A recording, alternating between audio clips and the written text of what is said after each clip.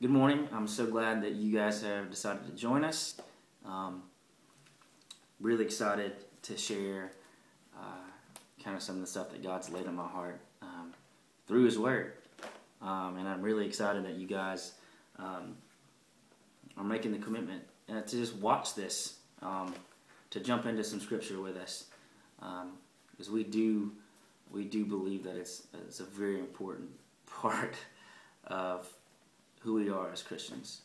Um, it's where we find our resource. It's where um, we find our direction.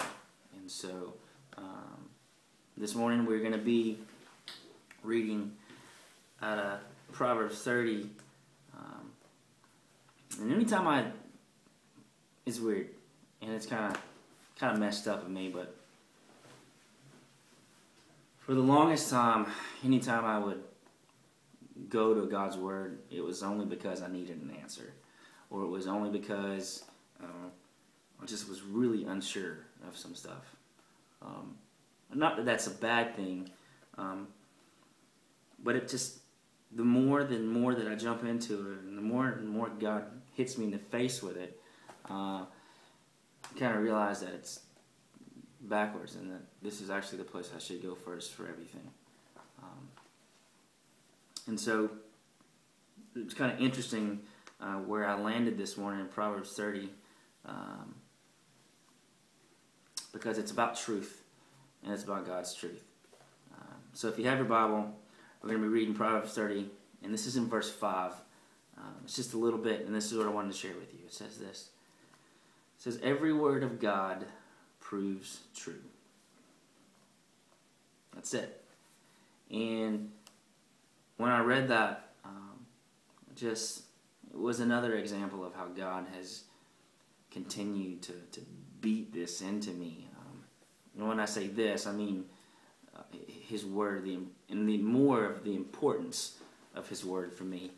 Um, and it's just kind of been this reoccurring theme as um, I've, I've, journeyed through my life and have um, begun this process of, of leading other people. Um, and it's and I've discovered that it's that's very accurate. This statement that every word of God proves true is very accurate for me personally.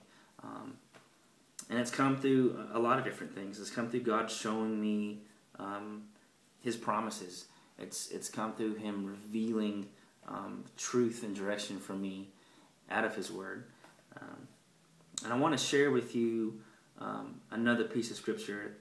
Uh, it's from Isaiah 55, and it starts in verse 10. And I just want to read this to you. It says this. The rain and snow came down from the heavens and stay on the ground to water the earth. They cause the grain to grow producing seed for the farmer and bread for the hungry. It is the same with my word. I send it out, and it always produces fruit. It will accomplish all I want it to, and it will prosper everywhere that I send it. And so, what I wanted to share with you this morning um, is just this it's that um, in our lives we are, are searching for direction. We're searching for answers. We're searching for the next step, the next move. Um, what is this? What should I make a decision on this? Is it yes or no?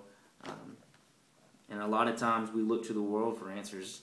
Um, and most of the time, I can say pretty much every time that I've taken the advice of the world, it's always come back to bite me in the butt, or it's always come back um, and it's not been right for me.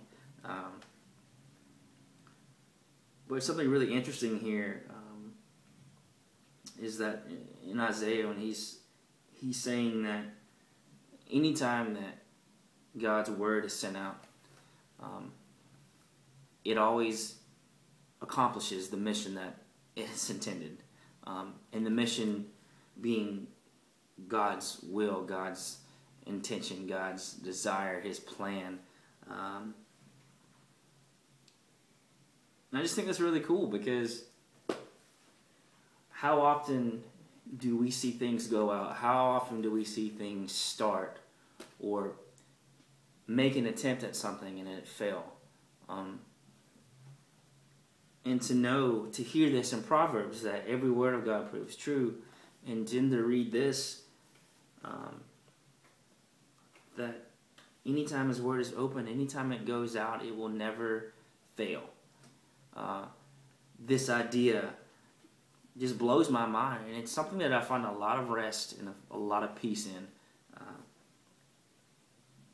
And I know a lot of times for us, we we try to we try to read God's word and we try to force it into an area of our lives. We try to make it fit into this certain portion of us, um, and that's just not.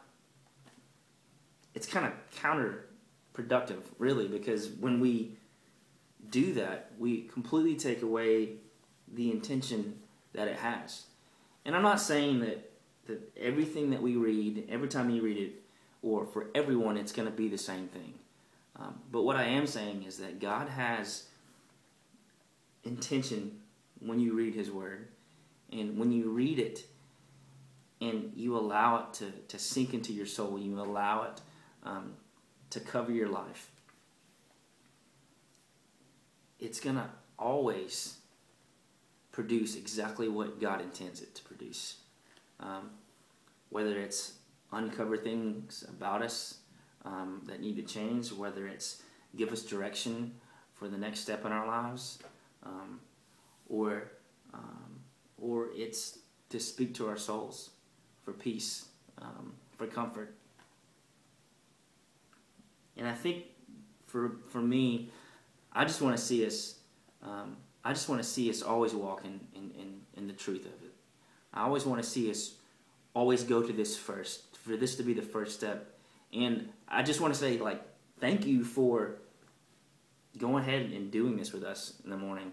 I don't know what it may be morning for you, maybe in the afternoon, but the fact that you took the time to get on here and watch this seven, eight minute video um, when you could do a million other things um, is to me very encouraging because it means um, that you really do take this seriously and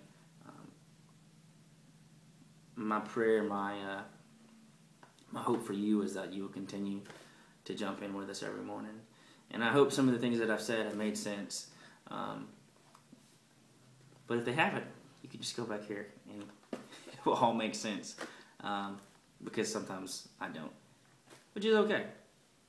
But um, thank you guys for uh, stopping in with us, and uh, I'll see you soon.